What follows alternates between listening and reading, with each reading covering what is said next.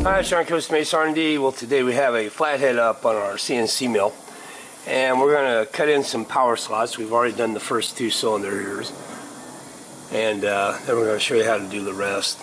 Uh, at the end of this, we'll go through the programming on this and the setup.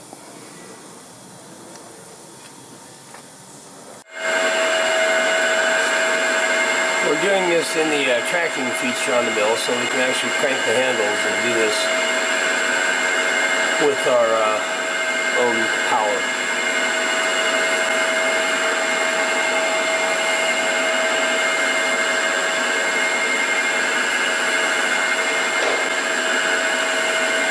And it speeds up the job because we know we're doing this in two steps.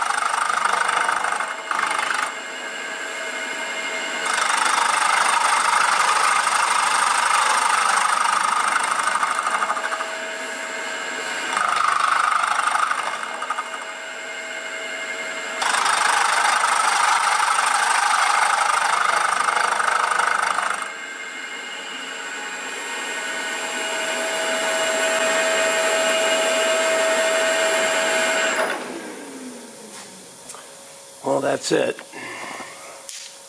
And as you can see here, we've got our power slots. They're about 80 thousandths deep, which is just about right.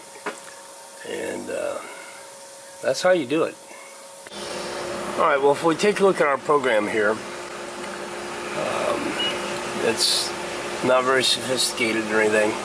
We're just basically uh, machining a rectangular pocket in four locations.